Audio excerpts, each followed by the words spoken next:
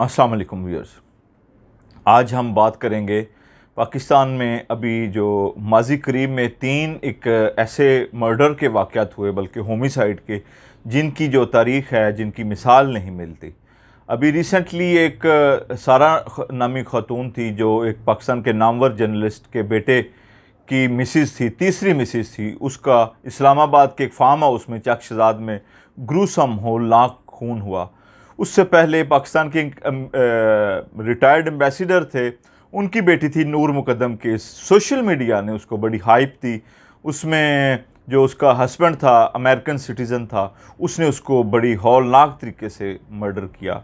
और तीसरा था, इससे पहले एक, पाकिस्तान की एक बड़ी नामवर एक हस्ती थी जो फनकारा थी, उसका नाम था कंदील बरोच। उसके जो भाई ने उसका जो गैरत में आके उसका मर्डर किया था।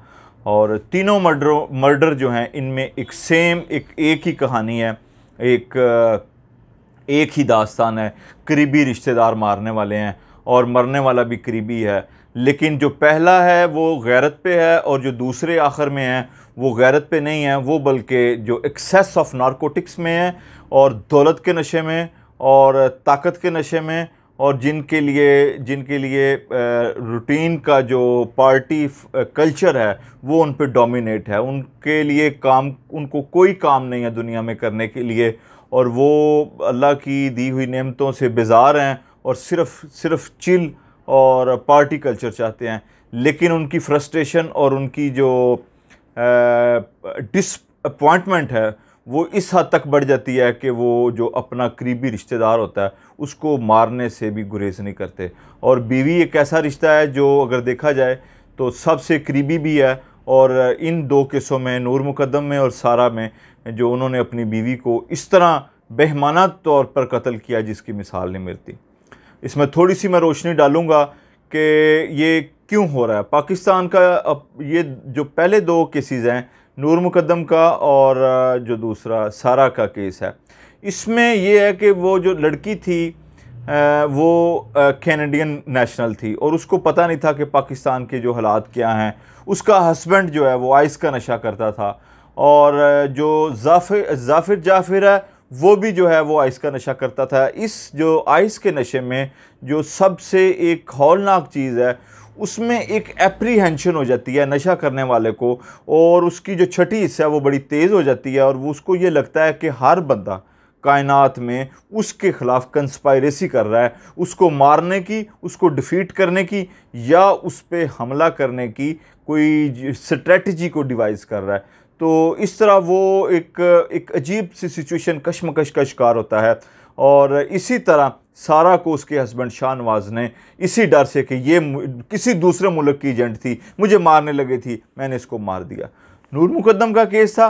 उसमें उसने कहा कि ये ये मुझे मार रही थी, ये मुझ पर तशद करती थी और ये मेरी बात नहीं थी मानती। हालाँकि विदाउट किसी वो रिश्ता के रिलेशनशिप के दोनों एक घर में रहते थे और जो उनका कल्चर था, एक मम्मी, डैडी या पार्टीज़ कल्चर वो आम था। पाकिस्तान के कुछ जो एलिट क्लास है, वहाँ पर ये फ़ंक्शन जो पार्टी कल्चर है, जो मिडनाइट पार्टीज़ हैं या जवान बच्चों का बैचलर पार्टीज़ हैं, वो एक आम कल्चर है।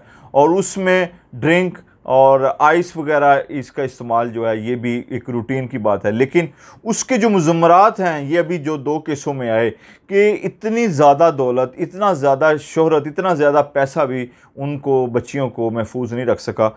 और इसमें जो सबसे कंडेमेबल चीज़ ये है कि सबसे पहले जो लोग शादी करते हैं, उनको ये देखना चाहिए कि भी किस तरह से उनका जो होने वाला दमाद है या जिसके साथ वो रिश्ते में बदने जा रहे हैं, उसकी महफिल कैसी है, उसकी कंपनी कैसी है फेसबुक मीडिया या अगर वो फोरम यूज़ कर रहा है सोशल मीडिया तो किन लोगों के साथ उठना बैठना है, कौन लोग उसके साथ बैठते हैं, कौन लोग उसके साथ कीप इन टच हैं?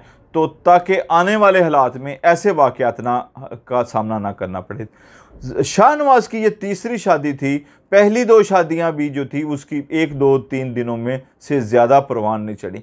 ये उसके माँ बाप को चाहिए था कि उस पर ये कंट्रोल रखते, उसकी सर्विलेंस करते, लेकिन अनफॉर्चुनेटली जिसने मरना था जिसका जिसका दिन गिने जा चुके थे सारा के यानी के, और पाकिस्तान के इंटरनेशनल लेवल पे जिस तरह की जग हसाई हुई, ये एक बड़ी सोचने वाली बात है। हमें माशरे से जो ये मनशियात की जो लानत है, इसको ख़त्म करना चाहिए। अपने नौजवानों को पॉजिटिव साइड की तरफ़ पॉजिटिव एक्टिविटीज़ की तरफ़, खेल की मैदान की तरफ़ रिज्यू करना चाहिए।